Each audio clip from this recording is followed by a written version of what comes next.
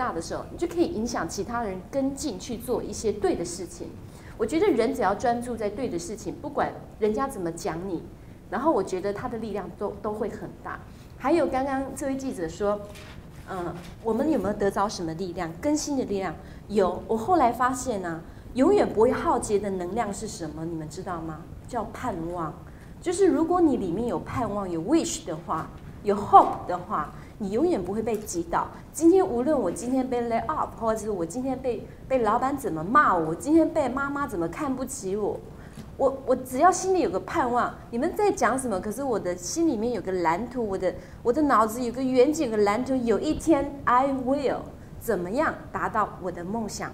那个叫做盼望，是不会不会舍弃你你任何生命的能量的。那癌症病童有一个很可爱的地方是。他永远知道说一件事情是，我多一天，我活一天，我每天睁开眼睛都是很有盼望，都是很开心的。所以我在里面，这个小男孩他从来不知道什么叫做痛苦。他曾经问他爸爸，这个问黑人啊，他这个小男孩好会演。他问他爸爸说：“你唱歌的时候快乐吗？”他问他爸爸，他爸爸当歌手哎，黑人在里面有唱歌，就是。你爸爸是歌手，他在看你，他在看他爸爸唱歌的时候，他就问他说：“你唱歌的时候快乐吗？”他突然愣住，这么简单的一句话，小孩子问你，你竟然回答不了。然后后来，剧中里面一个校长叫柯一正，他是香，在他是台台湾很有名的导演，以前演过不少的片子，他也演我们的校长。他就回答说：“一个唱歌快乐的人，跟一个不唱唱歌不快乐的人，你知道两者之间的差别在哪里吗？”一个影响自己，一个感染别人。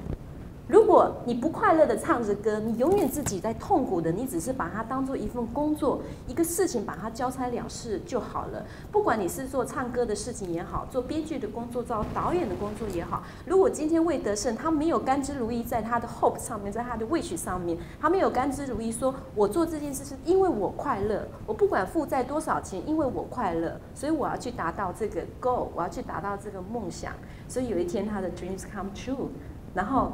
他就吓一跳，五亿四千万台币 就进来了。那个是你意想不到的附加成果的代价带给你的。所以在这部电影里面，我觉得很有趣是，里面很多的知名演员在参与一咖一咖的角色，有一些都是黑人，说：“哎，你要帮忙演一个临时演员。” 对，然后我就觉得很有趣。我们这个成本虽然不是说很大的片的成本，你们也知道，台湾拍电影真的不容易，它没有电影工业，然后还是。为什么没有电影工？我们这些人还继续去干这种傻事呢？但我们不干的话，谁干呢？就是 对。但我们我们喜欢做这种事情，是因为我们喜欢做梦。如果每个人心里有梦的话，你不觉得这每天是很快乐的事情吗？坐着马桶蹲大号的时候，你就会想到啊，我待会要是怎样怎样怎样怎样，然后我明天要是怎样怎样怎样，有一天要是怎样怎样怎样的话，那该多好。就人生要快乐一点，所以我觉得，在这部电影里面拍完之后，我的下一部电电影，我觉得我还是会继续拍这种有希望的片子，就是会带给人家力量的片子。谢谢。好，你要多问点问题啊，所以可以从他们这两位里面学学到一点，学到一点东西。你好，我是北美新浪网的。我想问问看，就是月星星当初你在写这部剧本的时候，你是从哪一个点去触发说我要开始写这个剧本，还是说你是从平常累积起来的？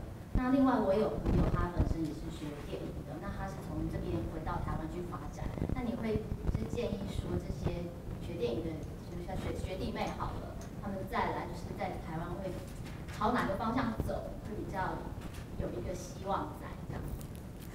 我想问问看黑人，就是那你自己在诠释完这个父亲的角色之后，你自己对父亲这个 image 有什么不一样的看法，或者说你自己的经历，知道我们是不是知道说你自己的经历跟一般的家庭比较不一样？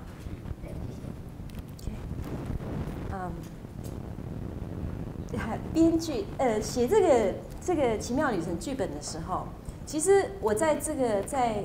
我我入行其实是我在念大学的时候我就开始写剧本了，我写了武侠剧，写了非常多，然后写了电视剧，我出了书，出了八本书，然后以前就是呃报纸文章上面也常登我的报道。然后我是本身就是学舞台剧导演编导的，然后后来就学电影，改改改入电影行这个行业这样子。那其实基础还是要有的，就是说你你学习的基础，你这些东西，而且我很小就喜欢看莎士比亚，喜欢看美国文学、中国文学，然后西洋史这些东西我都都喜欢。那当你去被这些东西潜移默化在你的里面打一个基础之后，然后后面就是你要跟着这些有经验的实务的人去学习啊，比如说呃电视演艺圈里面有有谁会带你，导演跟制作人是很重要的。如果你跟对了导演跟跟对了制作人，相相较的就是你你去做很多事情的时候，你都会很精准。因为我觉得中国人常常浪费时间在饭桌上面。什么东西开会都要吃饭，中国人哦，我就觉得说很奇怪的一件事情。就 meeting 就 meeting，还要吃饭，但是要就是在饭桌上聊天，然后这样，还是吃一次不够，吃两次，吃三次，觉得这个是很诟病的。那这个奇妙旅程的剧本，就是我有一次我是看到我一个制作人，他的小孩他要换换那个干细胞，对，然后他带他的小孩去做最后一次旅行，因为医生跟他讲。有可能不成功，那不成功之后他就再见了。所以，所以那时候我我我去看我去看他小孩在一个玻璃间在台大的时候，我看他小孩呃，因为做化疗嘛，已经剃头发都剃光光，然后干细胞是因为他他妹妹四岁，他为什么一直生这个小孩子？就是他想要能够让他的这个姐姐，让他的大女儿能够把能够和他的那个就是对。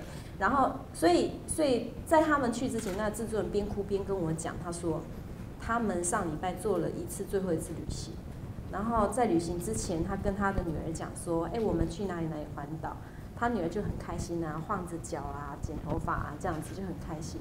可是他们很痛苦，因为他们不知道说这个是，也许是我跟你，跟我的孩子最后一次的旅行，所以。这种奇妙的旅程，这个旅程的概念，在我的脑子里面，我就想说，也许生命中每一个人突然出现在你身边，可是有一天，你回头一看，那是你跟他见面的最后一次。我们在这个见面，你看我，我看你，其实是很有缘分的，是上帝巧妙的安排。我不知道你在这边今天会获得什么，或是我们来这边我们会获得什么，但是我觉得 maybe 一个 word，一个一个关键的字，一个一个 key word，然后我们就可以得到。你生命的全部不一定，就是说，你要珍惜你每天醒来，就像黑人讲，他做义工是像呼吸一样自然。你要珍惜你每天张开眼睛呼吸的时候，哇，感谢主，感恩呐！就是我觉得你要心里要有感谢的那种感觉。每天活着，你能呼吸，你能走路，你有四肢健全，你能吃饭，你还吃得下去。我觉得都要感谢，感谢上帝有让我们有这么好的身心这样子。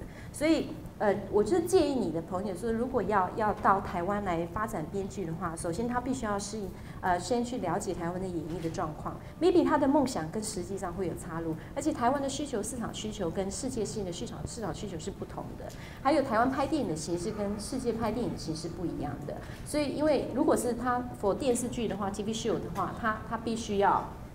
适应收视率的问题，有时候你的你的状况跟你所想的跟制作人要的是不同的，这样子。谢谢。好的。那我刚刚有提到我来旧金山，充满了很多无限的思念和画面，那都是来自于我爸爸。那我我爸是在中华航空公司，呃，服务。那他是民国空难的座舱长，那我爸已经离开了，在我大概是高二的时候，那那时候我记得我来旧金山的时候，我爸规定哦，我们上飞机前一定要我和我哥和我爸都要剃三分头，然后我也觉得，诶，这是怎么回事？穿白色的 polo 衫，三个人要穿一模一样，穿蓝色的 navy blue 的蓝色长裤。